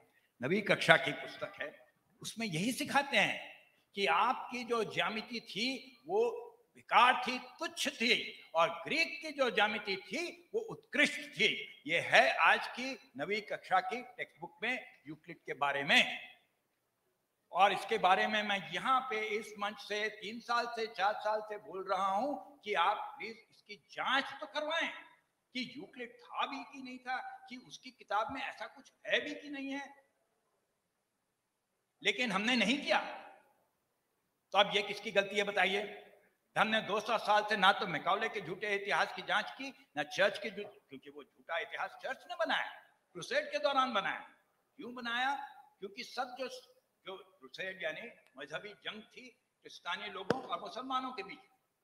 और उसके दौरान जितना भी उनको ज्ञान मिला मुसलमानों से, उसको उन्होंने कहा, इसका श्रेय उन्होंने ग्रीक को दिया। पूरा झूठा है। यूक्लिड की किताब कहाँ से आई? एडेलाड अब बात करके एडेलाड अब बात करके जो स्पाई था क्रूसेडिंग स्पाई था, वो लेके आया खैर, अब उतने डिटेल में नहीं जाऊँगा। ये बात है कि हम ये चीज़ का खंडन नहीं करना चाहेंगे। तो हम जश्न मना सकते हैं, अमृत महोत्सव मना सकते हैं, लेकिन हम गुलाम की गुलाम रहेंगे ठीक है, आखिरी बात ये बता दूँ कि इसका, ये मैंने इस किताब का ज़िक्र किया, इससे क्या संबंध है? आर्यन रेस थीसिस, आर्य नस्ल की कल्पना, कि क्या उठपटांग कल्पना, कंजेक्चर। तो इससे क्या इसका संबंध है ये बता दूँ? कि आप तो आपको मालूम है कि ये कहाँ से शुरुआत हुई कि ग्रीक भाषा, लटनी भाषा भाषा और संस्कृत एक समान एक समान है। पहले आप दस नंबर के नाम ले लें, वो एक ही है। लेकिन उसके बाद क्या होता है? जैसे ये कह रहे थे रोमन न्यूमरल्स की बात कि जो यूरोपियन अरेथमेटिक है, जो ग्रीक या लैटिन में आप लिखेंगे तो सबसे बड़ी सबसे बड़ी संख्या कौन सी मिलेगी आप वो मीरियाड है। दस हज़ार वो भी मिडिल एजेस में आती है। हाँ और कहा हम बात कर रहे हैं? तलक्षण की। दस घात त्रेपन। तो वो कर ही नहीं सकते थे, क्योंकि उनकी जो विधि थी, जो रोमन न्यूमरल्स की बात की, उनकी जो विधि थी, वो गिनती की विधि थी। अगर आप तब तक गिनती करेंगे मैंने कैलकुलेशन किया है आपको कितना टाइम लगेगा यानी आपकी ज़िंदगी में नहीं होगा। कोई चांस नहीं है वो आप वेद में जो है उतना भी आप गिनती करेंगे तो आपकी ज़िंदगी बीत जाएगी। तो आ, मैं आ, खाली ये कहना चाहूँगा कि ये जो समानता है ये कोई बहुत आश्चर्य की बात नहीं है क्योंकि अब हिंदुस्तान और ईरान में फारस में समानता है, संस्कृत और फारसी में समानता है, इसमें कोई आश्चर्य की बात नहीं है क्योंकि हम पड़ोसी थे। तो फारसी और ग्रीक में समानता है, इसमें क्या है? फारसी ने, ये फारस ने ग्रीक, वो तो ग्रीक साम्राज्य जो था, जो यूनानियन, आयोनियन ग्रीक्स जो थे, यूनानी ग्रीक जो थे, वो तो उनके साम्राज्य में थे। तो जब हम बोलते हैं कि आर्यन लोग आए, आर्य लोग आए और उन्होंने हमको भाषा दे दी तो फारसी लोग गए, उन्होंने भाषा दे दी। तो खैर, ये जो ग्रीक का महिमा गान जो किया, जो झूठा इतिहास बनाया क्रुसेड के दौरान, जिसमें कि पाइथागोरस और यूक्लिड के बारे में बात हो चुकी है, जिसमें अभी इतनी, इतना झगड़ा हुआ, पाइथागोरस है कि नहीं है, उसने कुछ थ्योरम दिया कि नहीं दिया, उसने उसका सबूत दिया, नहीं दिया। तो ये बात हम अभी तक हटा नहीं पाए हैं हटाने की कोशिश हुई अभी कर्नाटक में उस पर बहुत झगड़ा हुआ या आई एम जस्ट तो आ, ये बात सिर्फ़ इतना है इतनी सी छोटी सी बात है कि अगर हम ये मान भी लेते हैं तो हमारा क्या नुकसान होता है? नुकसान ये होता है कि इसमें आप जो बात नहीं समझ पाए कि आपको खाली मिथ्या नहीं दी यूक्लिड की मिथ्या नहीं दी जो यूक्लिड का इंटरप्रिटेशन दिया है, जो उसकी रीडिंग दी, उसमें चर्च का धर्मशास्त्र मिश्रित है। और उससे क्या होता है कि मैथमेटिक्स में पश्चिम का दबदबा होता है। सारे एग्ज़ाम जो है सेट थियरी के या किसी भी चीज़ के, सब पश्चिम से आए हैं। कोई हिंदुस्तानी या अफ्रीकी या अरब या चीनी ने नहीं दिए हैं। सबके सब पश्चिम से आए हैं। आप उन्हीं की परिकल्पनाओं को आगे बढ़ाते जाओगे, ये है हमारा मैथमेटिक्स तो मैथमेटिक्स से क्या होता है? सारे ज्ञान पे साइंस करते हैं, मैथमेटिक्स लेके करते हैं। तो मैथमेटिक्स पे जिसका नियंत्रण है, उसका सारे ज्ञान पर नियंत्रण है। और ये हमने नियंत्रण मान लिया क्योंकि हम ना तो फलसफा जानते हैं, ना विज्ञान जानते हैं, ना कुछ करते हैं। और ये सब ग्रीक महिमा गान था इतना। इसलिए जो उपनिवेशवाद के दौरान जो ब्रिटिश हुकूमत आई, उनको बहुत तकलीफ़ हुई। कि ये समानता कैसे है? कहीं ऐसा तो नहीं कि ग्रीक भी संस्कृत से आई है चलिए, मैं इसी बात पे खत्म कर देता हूँ। शुक्रिया।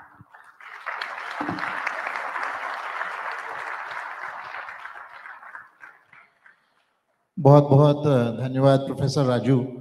और आपकी जो बातें इतनी महत्वपूर्ण है कि मैं चाहूँगा कि बहुत सारे हमारे युवा हैं जो उनको इनसे जुड़ें और समझें, क्योंकि अगली पीढ़ी को ये समझना और आगे लेके जाना बहुत आवश्यक है। हम बहुत तरह से डीकोलोनाइजेशन की बात करते हैं, लेकिन प्रोफेसर राजू के काम से जब से, सबसे पहले मैं जब कुछ वर्ष पहले परिचित हुआ, क्योंकि मैं, मेरा स्वयं मैथ और साइंस का का विषय रहा है। बाकी विषयों में हम डिकॉलोनाइजेशन तो स्वाभाविक ही मानते हैं, लेकिन मैथ कॉलोनाइज्ड है। ये बहुत बड़ा झटका मेरे को प्रोफेसर राजू के काम के बाद ही कुछ थोड़ी जितनी मेरे को समझ आई, उसके आधार पर ही लगा कि मैथ और साइंस में डिकॉलोनाइजेशन है। और जो दूसरा, दूसरी बात मैंने जो शुरू में कही थी कि हमारा कॉलोनाइजेशन और कन्वर्जन हमारा कॉलोनाइजेशन और कन्वर्जन धर्म से नहीं हुआ, वो साइंस से हुआ है। ये समझना बहुत आवश्यक है। जब तक जब तक हमने ये मान नहीं लिया कि वेस्ट का साइंस और वेस्ट का मैथमेटिक्स सुपीरियर है, तब तक हम लड़ते रहे। तब तक हम लड़ते रहे क्योंकि हमारे दिमाग पर काबू नहीं हुआ था। जब हमने मान लिया कि ये सुपीरियर है, तब हमने अंदर से जंग छोड़ दी है। क्योंकि हमने अंदर से मान लिया है कि अरे, वो तो एडवांस सिविलाइजेशन है हम हम पिछड़े हुए हैं, हमारा एडवांसमेंट हमारा डेवलपमेंट हमारा विकास तभी होगा जब हम उनके जैसे बनेंगे। ये आपकी जन जन की जहाँ पे भी बैठे हुए लोग हैं, उनकी भी मान्यता है और जो स्कूल में आपके बच्चे पढ़ रहे हैं, उनकी भी मान्यता है और उसी मान्यता को भारत सरकार भी ले जाती है, वो डेवलपमेंट की बात करती है, हर प्रकार से वही मान्यता आगे जा रही है। तो ये तोड़ हमारे पास तभी आएगा जब हम हिस्ट्री ऑफ़ साइंस और मैथमेटिक्स को अपने पक्ष से समझेंगे और उसके बाद ये नहीं कि उसको समझना है, देखेंगे कि किस तरह से विज्ञान और मैथमेटिक्स ने हमारे दृष्टिकोण को ही तोड़ मरोड़ दिया है और उसके कारण बहुत कठिनाइयाँ हैं। जैसे प्रोफेसर राजू ने कैलकुलस में कोई जो शोध की, उसके बाद उन्होंने जो फ्लाई बाय इफ़ेक्ट है फिजिक्स के अंदर उसके ऊपर अमेरिकन जर्नल, फिजिक्स के जर्नल में पेपर लिखा, जिससे आइंस्टाइन की स्पेशल रिलेटिविटी में कोई उनको उसकी करेक्शन की। तो यानी कि ये जो ज्ञान है, जो जो है, उसका रियल वर्ल्ड पे बहुत इम्पैक्ट है। आगे हम, हमारी साइंस कैसे जा सकती है, कहाँ जा सकती है, उसके ऊपर बहुत इम्पैक्ट है। तो ये सिर्फ़ अपनी पीठ थपथपाने के लिए नहीं देखो, हमने पहले कर दिया था। ये ये सवाल नहीं है। आगे दुनिया में कैसे हमने जाना है और कैसे बढ़ना है, उसका जो जो जो फाउंडेशन है वो भी इसी से आगे मिलेगा। तो इन शब्दों से मैं कोई एक आध प्रश्न ले लेते हैं। समय बहुत हो गया। आप भी बहुत ही पेशेंस और धैर्य के साथ सुन रहे हैं। तो आपका भी बहुत बहुत स्वागत है। एक ताली आपके लिए भी। इससे जाग इससे जागते भी रहेंगे। संजय जी तो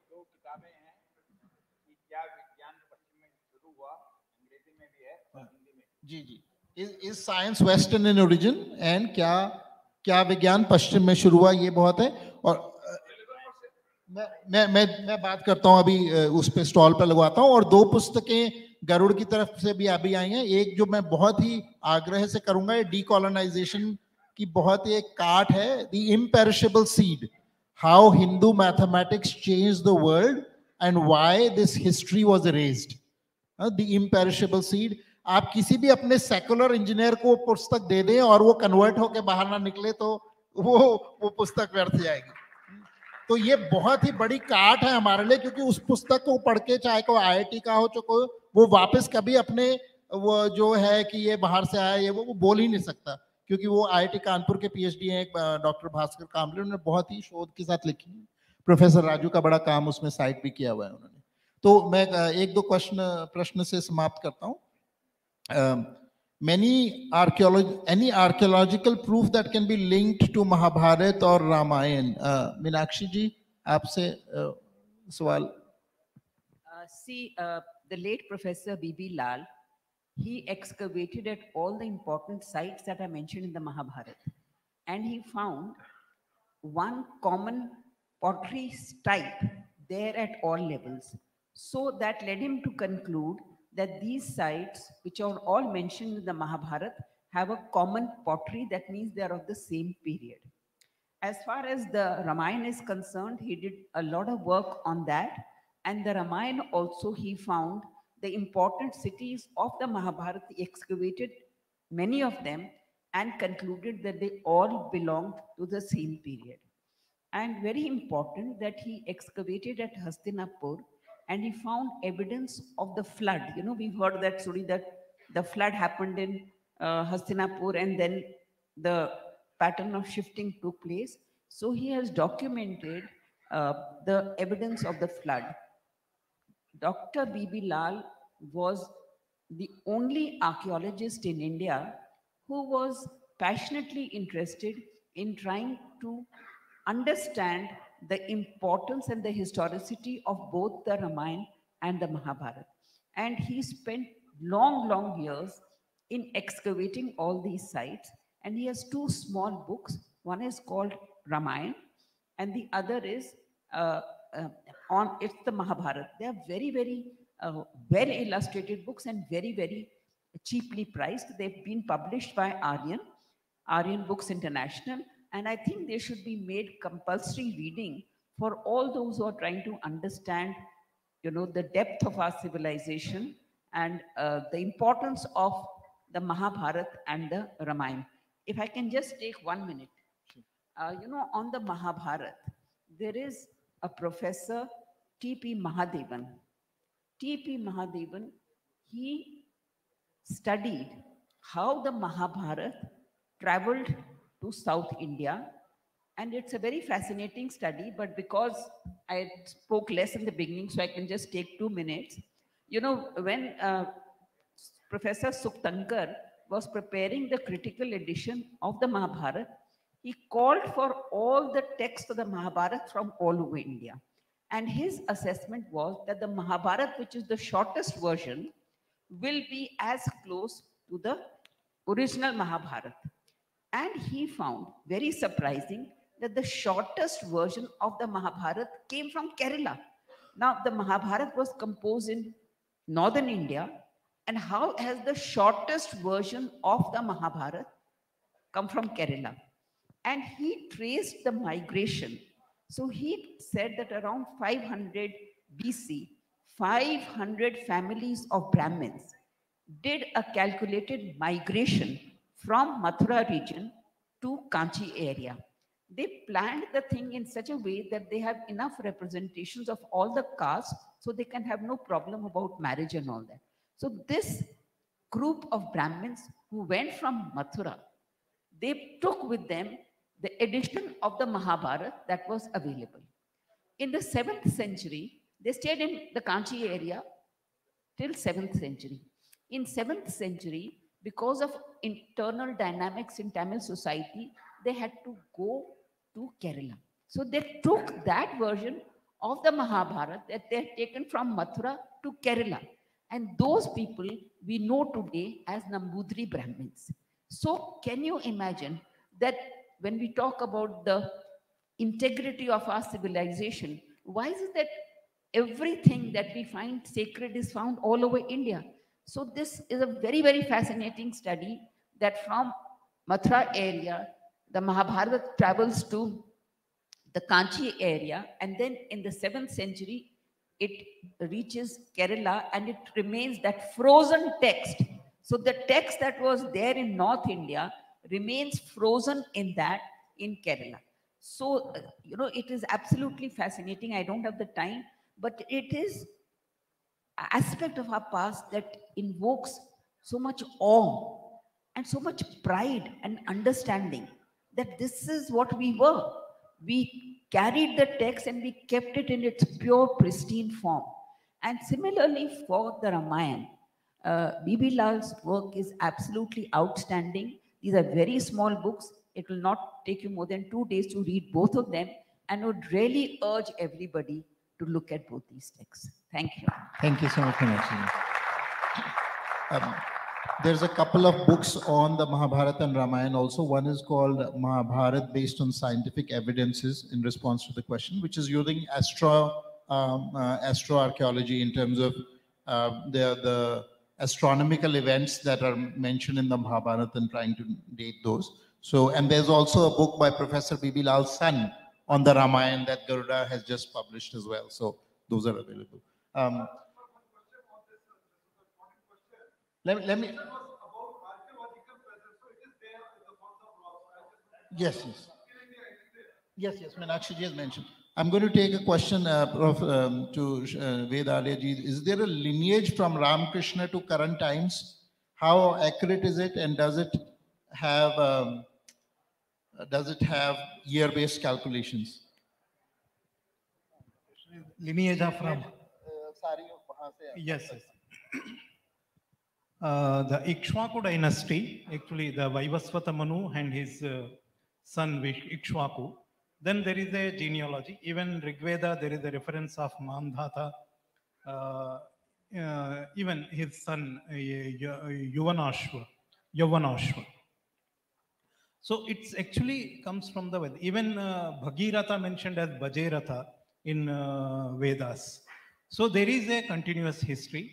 One thing we need to understand the archaeology, as per my thing, it can be secondary evidence, supporting evidence for the chronology, but it cannot be primary evidence. A continuous civilization has its own chronological history. Anywhere in the world, no chronology of the dynasty has been fixed based on the archaeology. Because archaeology can give you only uh, in case suppose a wood based in I get Ashokan Brahmi, then I can do the carbon dating. Even carbon dating also is not uh, that is only 1950s, 1960s the technology evolved. But before that entire world chronology has been established. Now what modern historians, so they don't take carbon years, raw data, they don't take as it is as the calendar years, they do the calibration. The calibration is actually an assumption based on the chronology established. So first correct the chronology, then only you can do the calibration. They do, uh, today modern archaeologists do negative calibration to bring forward the dates. So this is the problem with the uh, chronology. First chronology, epigraphy is the first evidence and then you reconcile with the literature, then you will get the better chronology. For the Ramayana, because the lineages have been mentioned uh, from in all Puranas, the Sri Lanka was not an island if you go back to 6000 BC. It became island because that pulse uh, sea level uh, rose in pulse 1, pulse 2 and pulse 3 occurred somewhere 6200 to 5600 BC. During the Ramayana era, the area Dhanushkodi to Talaimanar, it used to submerge during the high tide. So that time it became uh, Dvipa island. So during Ramayana, they just did the land filling and raised the platform by one meter. so that uh, they have an access, land access to the enemy territory because logistics for the army as well as the, uh, in case you want to take a back, mm, back uh, uh, sometimes you may have to go back in a war. So that's why they needed a route. That's why the, the land, the bridge construction was Ramasetu was actually land filling that time. So we have to, that gives the oceanographic evidence for that one. But we need not to look into everything to just dig and if it is there, then only I can believe it. We have a first chronological, then we have to go for the archaeological uh, evidences because most of the, in India, till Mahabharata era, we had mostly wooden houses. This is the reason Laksha Kriha, the, uh, the event, that was actually wooden house. So Indians had mostly wooden houses. Just- Later, just for under the time, uh, Western, civili- Western like Scythian civilization, that influence, we started building the that, uh, urban civilizations and others. Thank you. Thank you. Sorry. Um, So Professor Raju, a question for you. Um, How to teach this information of correct history slash math to school level students? भाई नहीं पढ़ा सकते, क्योंकि सीधी सी बात है, उसको पढ़ाने के लिए आपको सरकार की परमिशन चाहिए। सरकार देने को तैयार नहीं है, एनसीईआरटी देने को तैयार नहीं है। हमने कहा कम से कम बहस कर लें। बहस के लिए भी तैयार नहीं है। वो हिस्ट्री तो छोड़ के मैथमेटिक्स पर भी बहस के लिए तैयार नहीं है। यूक्लिड के लिए तो मैं इनाम दे चुका हूँ। तो जब तक, क्योंकि स्कूल की बात करते हैं तो it is very tightly controlled आपको सिखाने नहीं देंगे कुछ और। यूनिवर्सिटी में थोड़ा होप है। कहीं कहीं कर सकते हैं क्योंकि यूनिवर्सिटी ऑटोनमस है इन प्रिंसिपल लेकिन स्कूल में पढ़ाना बहुत मुश्किल है। अब मैं कोशिश कर रहा हूँ, कलकत्ते का एक स्कूल है। तो ये ओपन स्कूल के माध्यम से हो रहा है। तो एक जैसे चीज़ है कि उनको सही कैलेंडर सिखाया जाए। अब हम सब नकल करते हैं तो हमने ग्रेगोरियन कैलेंडर की नकल कर दी, उससे हमारी फ़सल बर्बाद होती है, कृषि बर्बाद होती है, और ये सब तरह के अंधविश्वास फैलाती है। तो और हमें किसी को पता नहीं चलता है कि होली कब है, दिवाली कब है। आपको कैलेंडर देखना पड़ता है, यानी कम से कम समझना तो चाहिए। आपका पूरा कल्चर से आप एलिनेट हो जाते हैं। तो ये सिखाने की कोशिश कर रहे हैं प्राइमरी स्कूल में, ओपन स्कूल में। क्योंकि ओपन स्कूल में जो परीक्षा का जो डर है, वो बाद में आता है। तो कुछ साल तक आप सिखा सकते हैं जो आप चाहें। तो ये कोशिश है। अब, ये इस हिस्ट्री को सही करें, कोई है ही नहीं हिस्टोरियन ऑफ़ साइंस, बताया ना। तो आप किसकी परमिशन लोगे? सरकार के पास जाओगे, या हमने तो ये भी सोचा कि हम कोर्ट में जाएँ तो वो बोलेंगे, भाई एक्सपर्ट को बुला एक्सपर्ट कौन है? कोई है ही नहीं। तो आपके पास इसकी, आपको कुछ करना पड़ेगा। यानी आप मेरे ऊपर मत छोड़ो। मैं इसलिए तो तीन साल से कह रहा हूँ कि आप ये संग्राम छेड़ो यूक्लिड के बारे में एनसीआरटी के साथ। मैं तो गया, उन्होंने तो मेरे को भगा दिया। बोला डिस्कस करेंगे।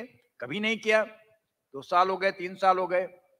तो आपको ये संग्राम छेड़ आप सोचते हैं आज़ादी ऐसी मिल जाएगी फोकट में बिना कुछ किए? आज़ादी के लिए संग्राम करना पड़ेगा। तो ये संग्राम में आपको जुड़ के करना होगा नहीं तो नहीं मिलेगी आपको। वो ज़िंदगी भर 200 साल रहे और 200 साल रहोगे। तो मेरे हिसाब से आपको करना पड़ेगा। मेरे से मत सवाल पूछें अपने आप से सवाल पूछें।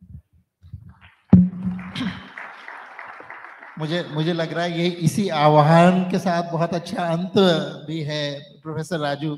यही सवाल हमको पूछना है कि आप अपनी सीट में बैठे हुए क्या करेंगे? यहाँ पे सबसे सुना हमने, प्रोफेसर मीनाक्षी से सुना, अभिजीत से सुना, प्रोफेसर राजू से सुना, आर्य जी से सुना, और ये सब हमारे इंस्पिरेशन के लिए हैं।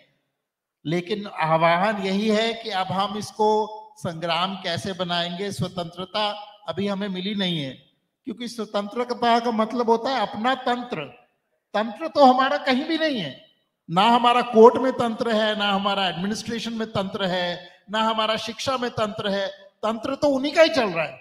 तो स्वतंत्रता से तो बहुत दूर है।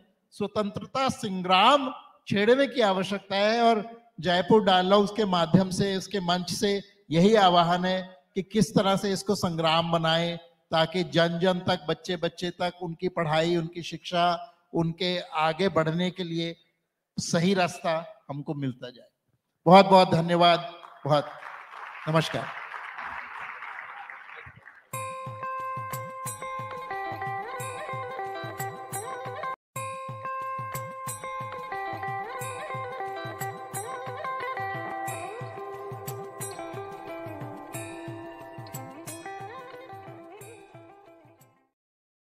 दस वर्षों से पाकिस्तान के हिंदुओं, सिखों के साथ काम कर रहे हैं। दो मिनट में आपको इसकी भूमिका बता देता हूँ। ये एक ऐसा मार्मिक विषय है जिस पर आप लोग कोई अंतर कर सकते हैं। इन एक करोड़ हिंदुओं को बचाया जा सकता है।